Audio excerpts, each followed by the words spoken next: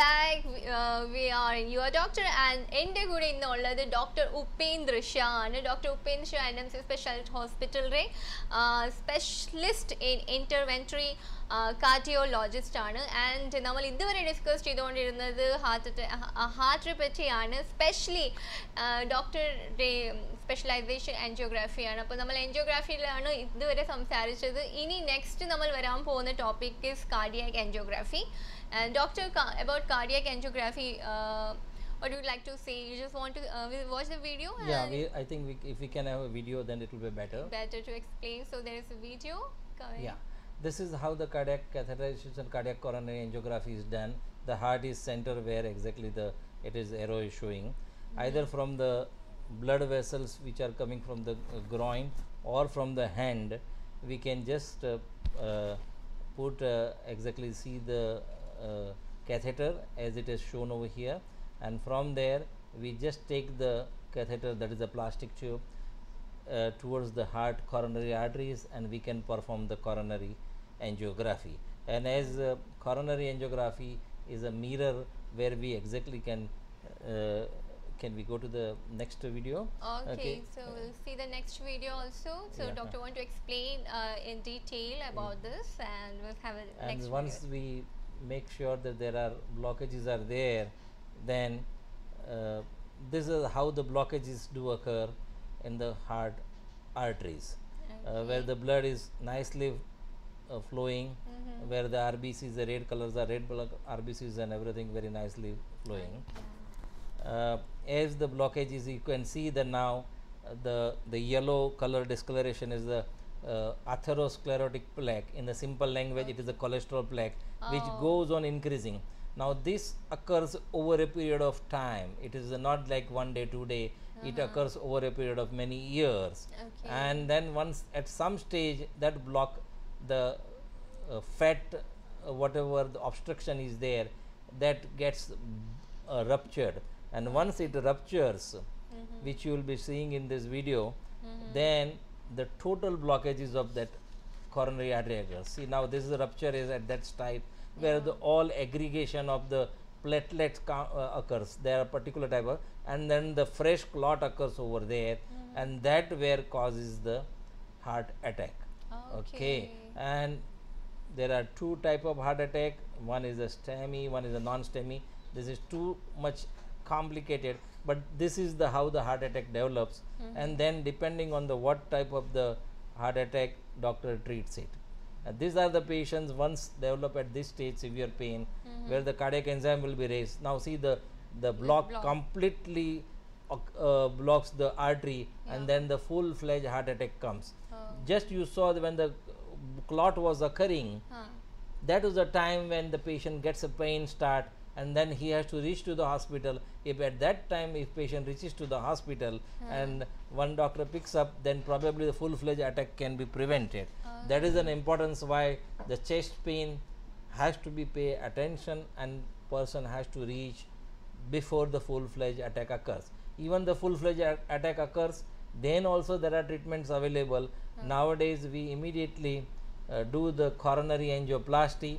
That means we put the balloon in the blockages and from outside only the balloon can be inflated. Oh. and once the balloon the inflate the balloon Okay. then this block can be compressed.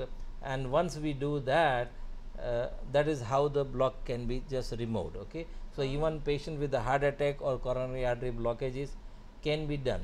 This coronary angioplasty itself also can be done with the patient fully awake Oh my god. okay so even we put the balloon also when the patient is fully awake we can put the stent. That is a stent is a metal spring specially drug coated now springs uh, stents are available.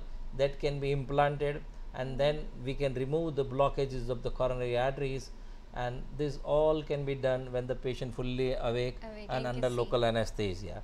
Okay and after one hour patient can have the food also and then next day we many times discharge the patient so Oh, yes. this is how the uh, coronary Medical science is so uh, uh, really uh, developed and Yeah. coronary angioplasty also sometime definitely it's a life saving in when done in right time uh, at the right uh, at uh, right time actually. So what you said is the cholesterol, like uh, that cholesterol. There are two type of cholesterol: good cholesterol and bad cholesterol. Okay. So the cholesterol, the bad cholesterol, it causes heart attack. So is it uh, that the cholesterol is the reason for uh, the heart attack? Yeah, see, uh, it's a very good question you have asked. Uh, these are called the risk factors, and the risk factors are the cholesterol, one of that. 2nd one is a high blood pressure, what we call hypertension. Third one is a diabetes. Fourth, is smoking, and uh, fifth is an obesity, and six is the inactivity life, which we all are now. Uh, I always tell that we all are uh, uh, living in an era where lift to car and car to lift. There is no exercise, and the sedentary lifestyle is the one of the main reason for uh, many of the problems. Okay, so as you said, the cholesterol, uh, we have to check cholesterol. Uh, everybody should definitely check.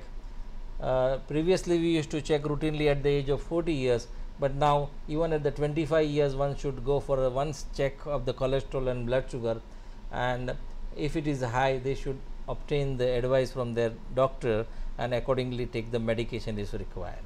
So uh, the what you suggest is uh, yearly once we should go for full body checkup. at least uh, full body checkup particularly the cholesterol test The the, lipid profile what you call bp yeah. checkup blood sugar checkup ecg and if require further test depending on the f- what are the initial Uh, at the age of 25 itself because of the lifestyle. these are the recommendation now the scientific body all over the world Yeah. now medical faculty is recommending that at least one time it should be checked at the age of 25 So if people have to take treatment for high uh, cholesterol or BP and diabetes of lifelong, so like once it it uh, like the body gets all this thing, then we have to take treatment for lifelong.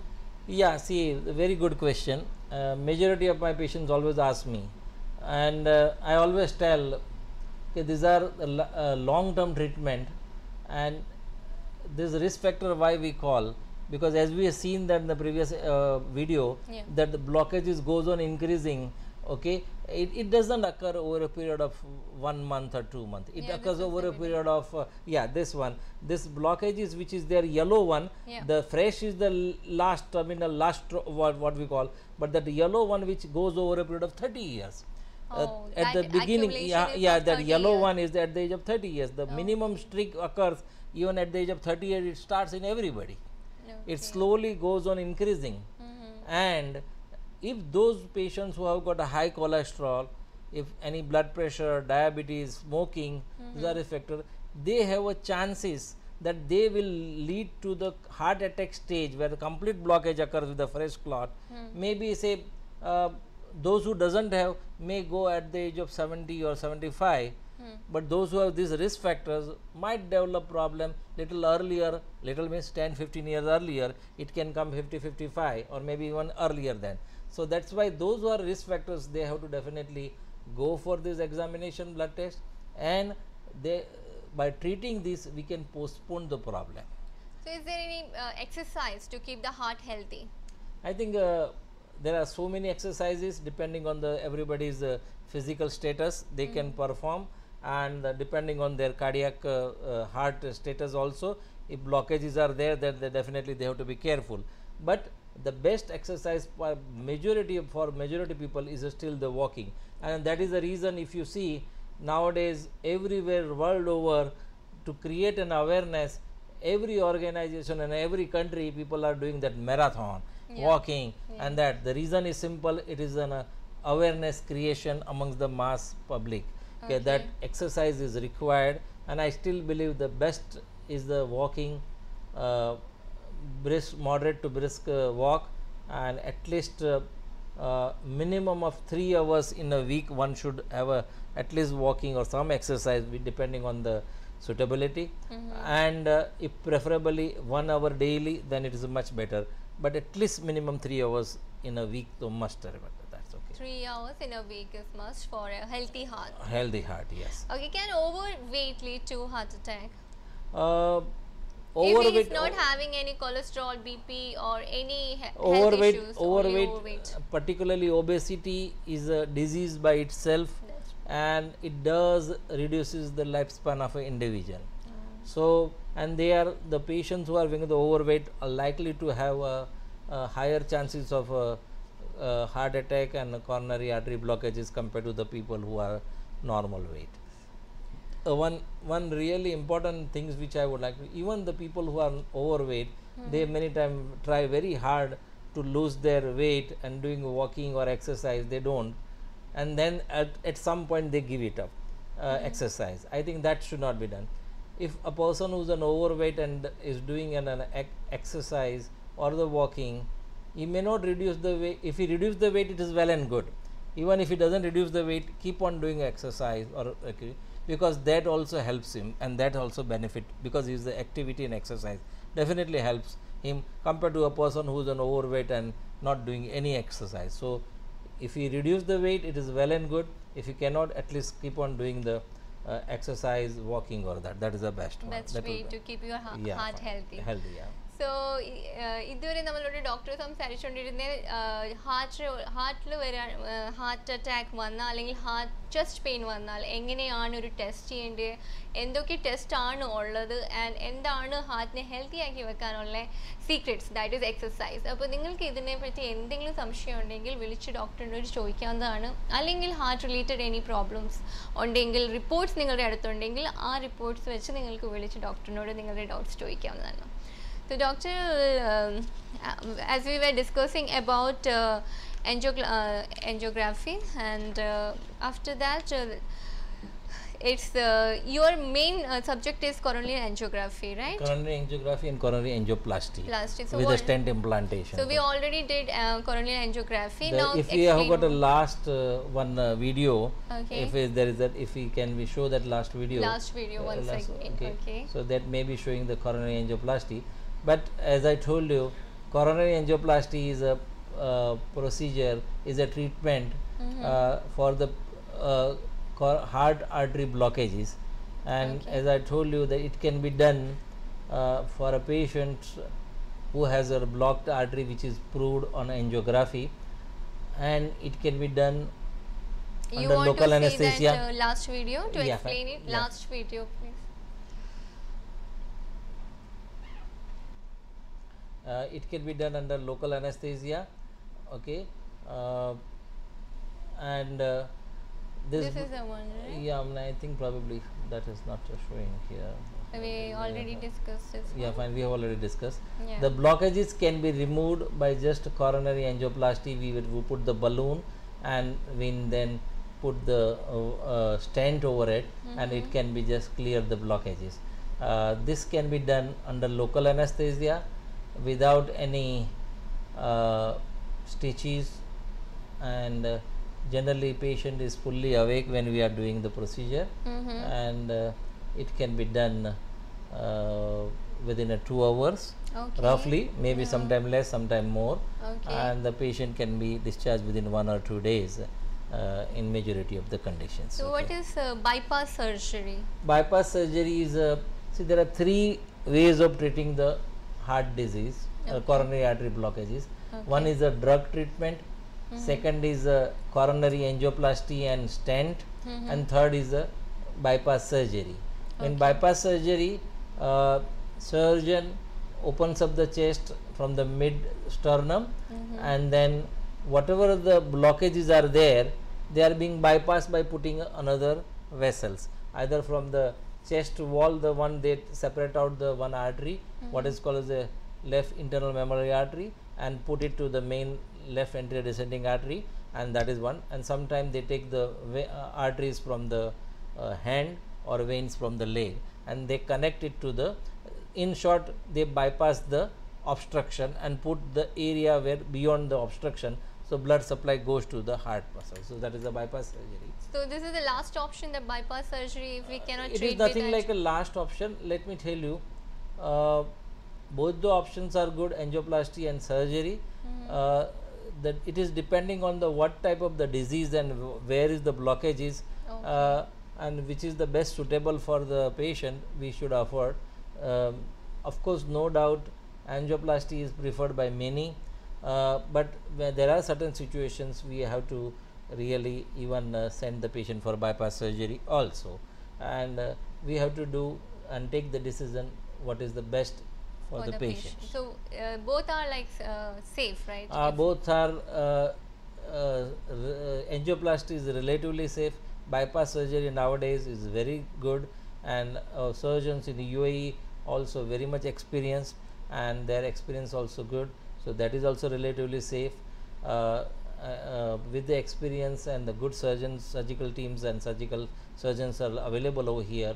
Bypass surgery also can be done safely, Mhm. and uh, some amount of always risk is in every procedure we do Okay. but the uh, it is still when we have to do we have to do bypass also and that that is really sometimes also very helpful to the patient so i always say uh, coronary angioplasty and bypass are complementary to each other okay. there are certain patients who are suitable for the angioplasty certain patient will be suitable for the bypass, Bypass. and certain patient will go for the medical management drug management so all three uh, ways of treatment of coronary artery Depends blockages are depending on the what is the situation it is So- very highly technical and uh, better it will be left to the cardiologist uh, To to decide. decide what exactly So we the have- best for the patients Uh, that's all. okay, doctor. Just uh, sorry to interrupt you. We have a caller with us. Let Yeah. us see who is that.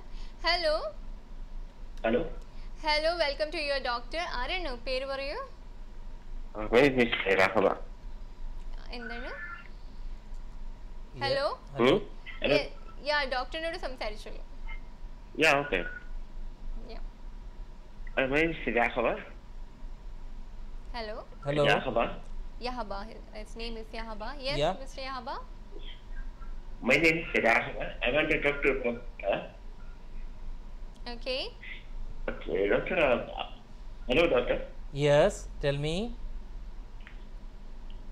yeah yeah tell me Yeah, so uh, I have uh, some uh, problem with my heart, like uh, AF is mentioned there, and I used to take uh, medicine since uh, five years, and uh, each time doctor used to uh, write uh, an opinion of cardio electrophysiologist. But Yeah. the cardio physiologist, where is it available? Uh, see, the electrophysiologist, uh, what you call, they are the uh, heart specialists, deal with the uh, irregularity of the heartbeats uh, uh, when occurs. The normal, uh, the routine cardiology doctors also can treat, and certain special procedures requires. Then we electrophysiology procedures requires. Then we ask them to go to the electrophysiologist. They are also cardiology cardiologists but specialize in the treating the heartbeat irregularities what is called as the cardiac arrhythmias sometimes fast heartbeat sometimes slow heartbeat and for them the, there are nowadays special treatments are available and there are specialized doctor they are called as the electrophysiologist so as a uh, like there are some doctors who are like me uh, specialize in the patient with the heart attack with coronary angiography and angioplasty when the balloon angioplasty and stent which i do. There are some doctors who are expertise in the this uh, heartbeat irregularity treatment. They are called as the electrophysiologist and definitely then we ask patients to go to them uh, them for further treatment and their expert advice and treatment Uh, why there's no doctor available in NMC? of what This uh, type of doctors in such a big uh, hospital, but there is no doctors available in uh, NMC. No, NMC has got. Uh, I am on from NMC, and uh, we are having a. We are uh, taking routinely the cases of angiography, angioplasty every day, and uh, all the patients. We have got all the facilities at NMC of echocardiography, treadmill test. We have got uh, angiography facilities. We routinely do the angioplasty, uh, and apart from the blood test and X-rays and the routine uh, ECGs, these are all highly specialized uh, facilities are available at NMC Specialty Hospital, Al Nahda, Dubai. Okay, so Okay. Yes, Uh, there's uh, one more remark in that uh, report, which uh, what is uh, therapeutic lifestyle. What is that mean for? Is it clear? uh, I think your uh, voice is not audio is not very clear. Can you Uh, repeat the Can you repeat the question, please? This therapeutic lifestyle to be changed. Like uh, what is that? Sorry, it is not clear what you are asking me. The video is the audio is not very clear. Okay, please. Hello. Hello. Okay. Uh, okay. I hope he got the answer and the, uh, he has a doubt, but uh, uh, NMC hospital number we will be showing so they can directly contact you. Yeah. And uh, doctor, uh, we were talking about angioplasty and uh, bypass surgery. So um, it's Even at the NMC hospital, we are doing a bypass surgery also. Okay. Surgical team is available. So, Okay. majority of the cardiac treatment facilities are available at NMC hospital specialty. Okay, so doctor, all this while we were talking about uh, the surgeries and angioplasty. So after this, do we need medi- medication for Yeah. this? Very good question. Uh, even after doing an angioplasty and stent implantation, nowadays the latest stent, drug-eluted stents, and the, there are some uh, biodegradable stents also available. After do, putting that or doing a bypass surgery, patient many patient requires a drug treatment to be continued Okay. uh, and it depends on the particular individual patients but drug treatment has to be continued and particularly uh, under the supervision or under the care of the cardiologist one has to continue the medications uh, one cannot uh, uh, take the things for granted and after doing angioplasty and surgery the regular medical checkup regular visit to the cardiologist is essential and uh, cardiologists will certainly perform uh, at a regular intervals the blood test cardiogram and other tests whatever required echocardiography and other things. So medications are to be required and the regular follow up and visits also after angioplasty and surgery has to be performed Okay, thank you, thank you, Dr. Upen Shah. Thank you very much for such a lovely talk. And we started with chest pain and we ended with uh, Coronary angioplasty and bypass. bypass surgery. Uh, I am really uh, thank you to all viewers, and uh, uh, I will appreciate that uh, they will at least have some more understanding, and they will definitely be benefited by this information which we have really Shared uh, with- shared with you uh, through this our ch- uh, TV channel media. We are you. very blessed that uh, such an experienced doctor uh, is with us today, and he- you shared lot of information with us, and definitely is going to help all of us. And we will be taking precautions. And thank you very much. Thank you very much for explaining us in detail all uh, the procedure and everything.